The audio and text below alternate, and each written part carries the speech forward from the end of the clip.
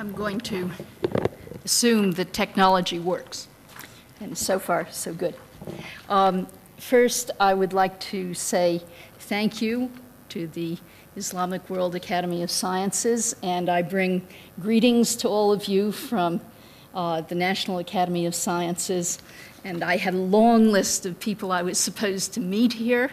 Um, and I've met some of them, and I'm, I'm very impressed by this meeting and the way it's organized, and very impressed by the cases that I've heard from Professor uh, Atta-ur-Rahman um, and Professor Badran about the kinds of changes that are possible.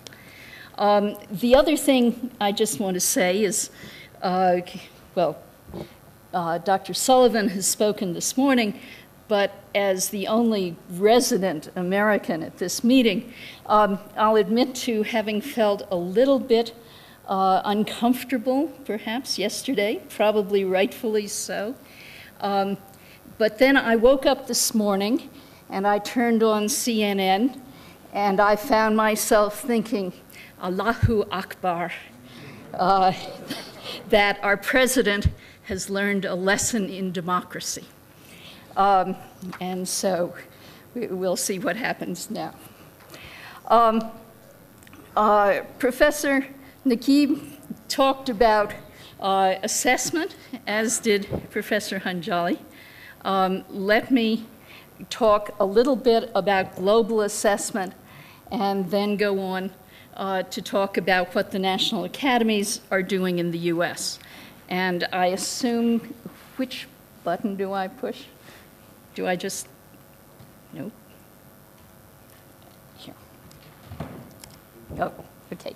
Um, let me give you a short outline of what I'm going to say.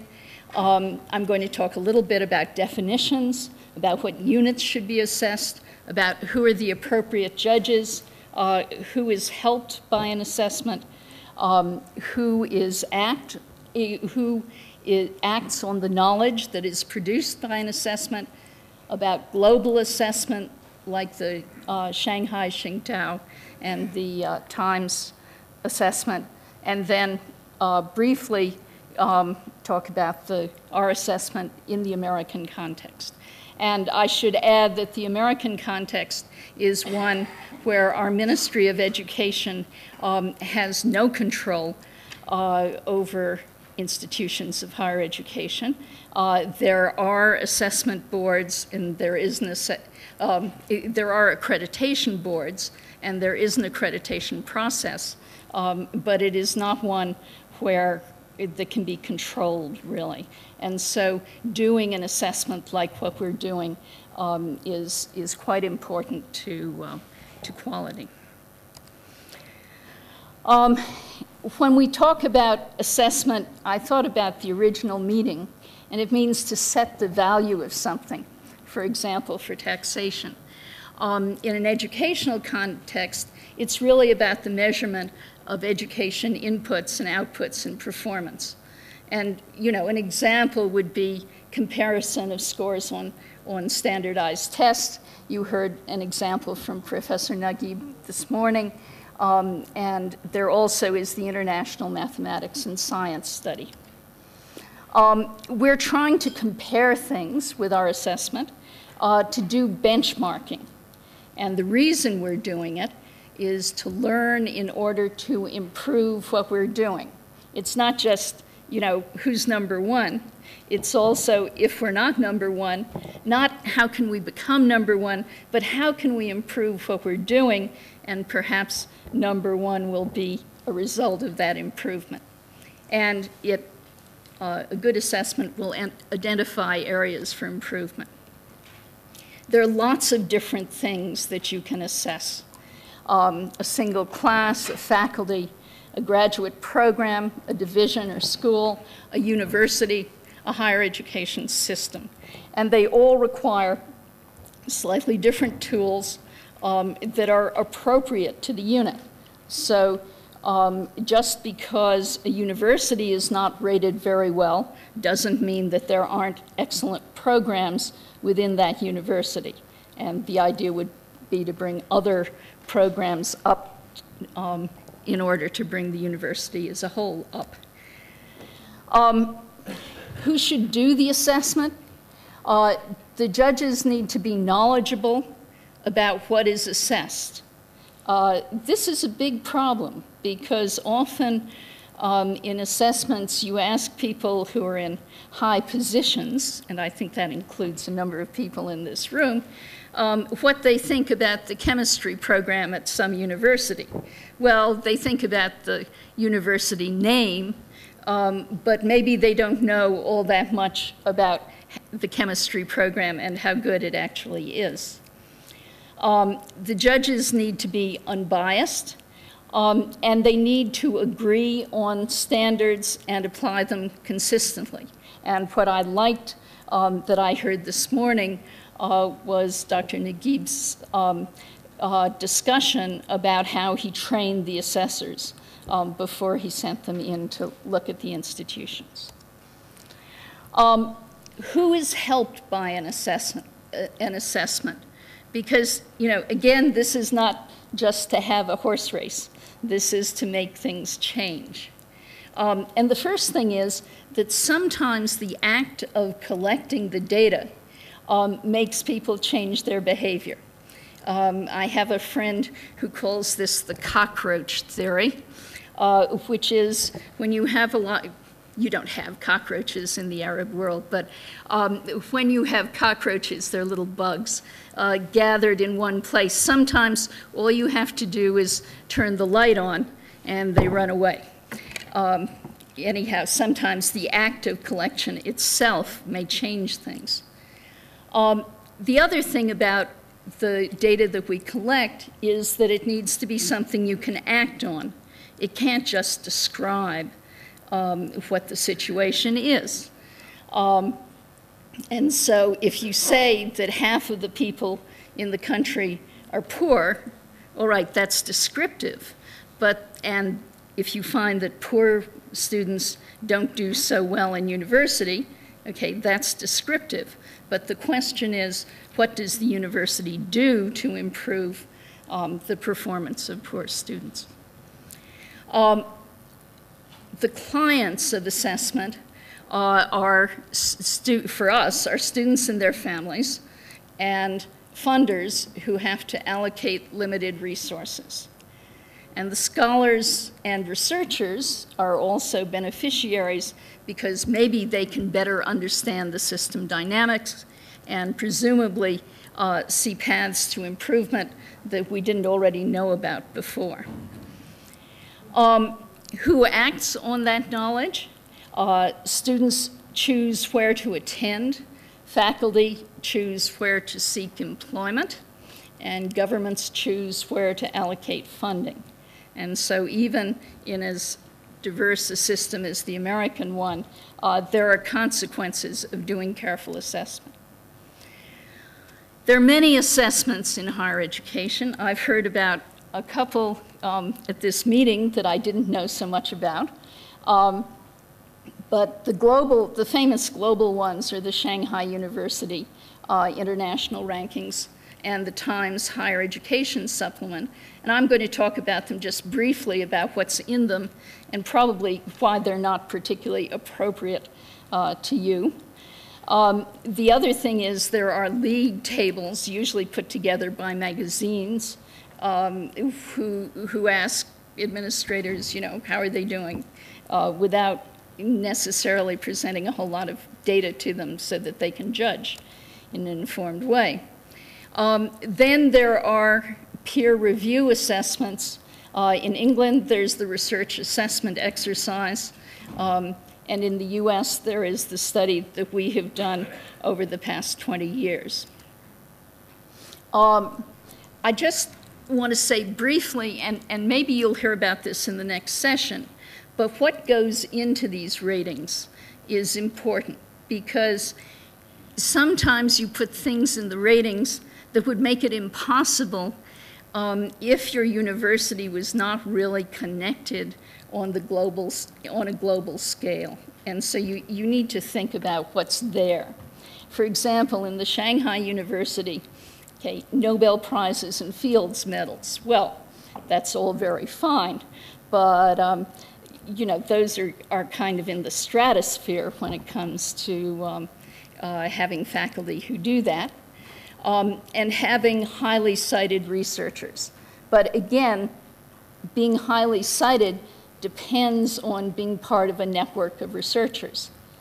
Um, the other thing is the research output, um, articles in Nature and Science, uh, again, uh, fairly stratospheric publications, um, and articles in the Science Citation Index and the Social Citation, uh, Science Citation Index.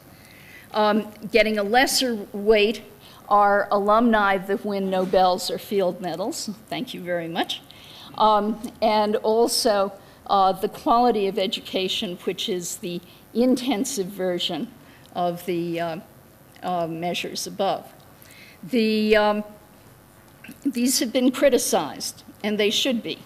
Um, first, for what we're doing, we include the humanities and social sciences, and they're almost entirely science and engineering based. And the weights are arbitrary. You know, who's to say that uh, Nobel winners get 20%? Um, the relevance of the elements to quality can be questioned. If you choose to measure particular things that are very rare, um, what, what can you do about that? Well, aside from uh, hiring a Nobel Prize winner, there isn't a lot that you can do. Um, however, the Shanghai ratings are global in scope, and all the elements are quantifiable. You can target at least some of the, object some of the objectives, um, particularly citations and publications. But a research environment is much more than citations and publications. These are the, the products of the environment, but how you create the environment is not really answered by the question of how many citations do you have. Um, for the Times Education, Higher Education Supplement, it's different um, it has more peer review as one of the uh, elements. It too looks at citations per faculty member. Um, it looks a little bit at education. In particular, it looks at the staff to student ratio, which, as you saw this morning, is not so good in many um, areas in Arab universities.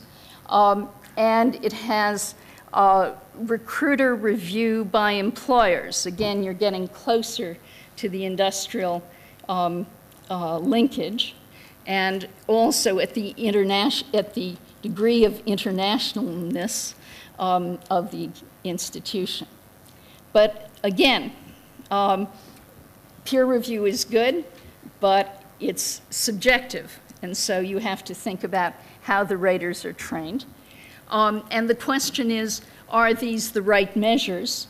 Um, are those the right weights? Uh, however, basically, peer judgment is good. That's how we decide on merit in the science and in science and technology. Um, it's good to think about the internationalness of an institution, um, and it's important to have uh, productive faculty to make for a good research environment. What's the relevance of these world rankings, which you'd love to be in because there are very few uh, institutions in the IWAS world, and in particular, um, I think there are a couple of institutions in Malaysia. Uh, there's the University of Cairo, and that's about it in the top 500. But is it relevant? Is this something you want to do? Um, I would say not much. Uh, I would say the measures are manifestations of a well-developed research infrastructure, and until you build that infrastructure, you don't really, um, you know, it's, it's sort of irrelevant. You should focus on what you can do, which is building that infrastructure, and we've heard quite a bit about it today. Um, the measures uh, reflect involvement in networks of scientists and journal editors, Again, that says go abroad, be really good there, get known internationally, and then come back. Um, and I'm pleased that the papers this, at this meeting uh, put forward more appropriate assessment schemes. Now, very quickly, let me tell you what we're doing in the US. And let me say that these are doctoral programs, um, and so uh, there are not so many institutions here that give doctorates, but it is a, the idea of the uh, assessment is, um, uh, is one that uh, could be applied elsewhere. And I have a lot more than I can go through, but we have been doing this over time. Um, the uh, NRC is very prestigious. National Research Council is very prestigious in the US. Uh, we're authoritative, comprehensive. We say what we're doing, um, uh, and we have continuity over time. Uh, it's very widely quoted. It is the gold standard of assessments. However, last time, for example, we ranked all biochemistry programs uh, from 1 to 135. And we all know that, in fact, there's much more ambiguity about where programs should be. Um, it confounded research reputation and educational quality. Um, much that I've heard today has been about research, research reputation, but in fact, uh, you also have to think about what you're doing with the students um, and the quality of that experience, because in fact that affects how good they're going to be later on. Um, uh, also asking for reputational measures from excellent to unsatisfactory are criteria that our committees thought of as soft. And um, our studies carried out only once a decade. Uh, we didn't spread it tell people about it very well. Uh, we had an 800 page book, of which all but 100 pages were tables. Um, uh, and so we didn't really explain what was in the tables. And the categories in the taxonomy were out of date. Um, and our validation of data was inadequate, in fact, non existent. How am I doing? Five. Five minutes, okay. All right, we'll do it on a bicycle. Um, okay, what we found, we had a committee that looked at it because the academy members said, well, if you're going to do it that way, you shouldn't do it again. Um, so we had a committee uh, that looked at how to do it better, and they said, okay, present rankings in ranges to show the uncertainty of them. Um, put more emphasis on the quantitative measures these are things that people can use for benchmarking. Um, make it useful to students and say what kind of analyses you can do with these data. Um, so we went about doing something about that. We're not doing pure reputational ratings. Um, we don't think that we can find raters who, across um, uh, all the fields. We, our, our diverse system, I, I should say quickly, ha, we have over 200 universities, and in some fields there may be um, uh, 180 programs. There, it is impossible to find a rater who will know all those programs, so you have to, um, uh, we're, we're not so impressed with rater knowledge. Um, we people like ratings. They don't often ask what's behind them. Um, and, but what can you substitute instead? Well, you can use quantitative measures um, and you can weight them empirically. You can look at ratings and you can say, how do they relate to these measures? And then use the coefficients on the measures to construct a synthetic index. Um, we have questionnaires. They go to programs, faculty, students in selected programs. And I'm going to try to be good and keep within my five minutes, um, my two minutes. Uh, and, but we are collecting data from institutions, doctoral programs, faculty, and students with these questionnaires. With uniform de definitions, we get comparable data.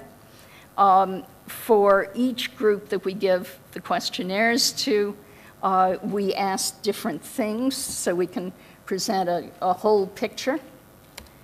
Um, we will conduct studies to derive these weights and possibly do rankings on different dimensions. Um, And we are going to present a database. And by the way, our institutions and programs are not anonymous. Okay, so the universities who have agreed to participate um, have said, all right, you know, we, we're willing to show our data, um, which is very rare in this kind of a study. Um, we will put together a database, uh, rather like the UNDP one, that will allow um, users to say whatever is important, what are the comparable institutions in this field, and they can do the comparisons. And that database will be updatable, so it's not going to be just every 10 years as it is now. Um, this is a list, I, I'm presenting a list of these characteristics, but I'm not going to go through each of them. Thank you. Um, but what I do want to say, well, first, that one of the difficulties that we had was simply figuring out what fields should be rated. Um, it was highly controversial, uh, partly because the biological sciences do not um, classify themselves very uh, easily, and because they're changing rapidly. So that was a major part of getting ready to do this. Um, it's used by lots of people, by administrators, um, department chairs. Uh, we hope this time it will be used more by prospective students. Um, why should the academies do it? Because any, this is a highly controversial thing to do, and anyone else um, is, has, there's a problem of self-interest. Um, and so the academies are, although all of our, many of our members are university people, um, it goes, uh, we're viewed as, as unbiased. Um, but we also have the expertise to do this evaluation. Um, our studies are data-based, and we won't rely on reputational rankings.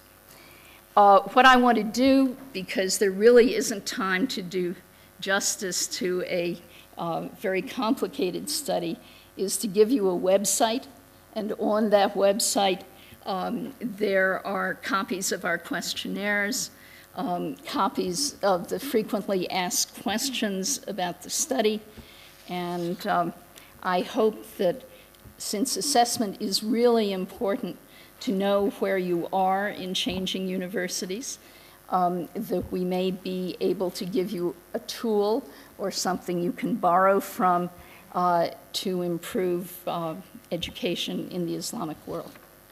Thank you.